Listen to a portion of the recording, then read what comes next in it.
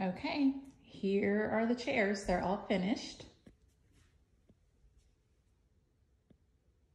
I have four of them. They're all different.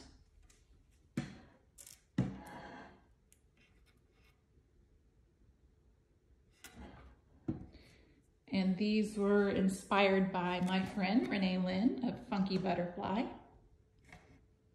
She is amazing. If you have not checked her out, check her out. She has a mentor group that is open today.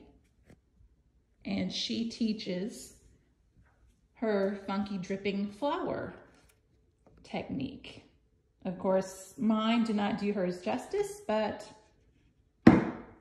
you gotta try anyway.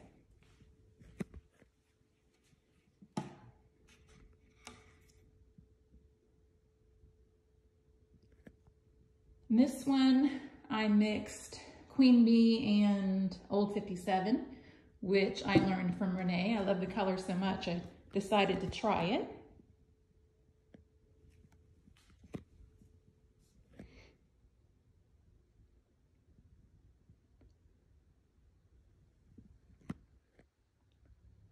This one seems to be the favorite.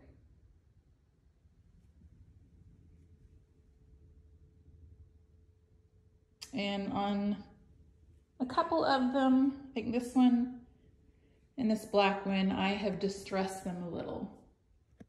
I like how that looks.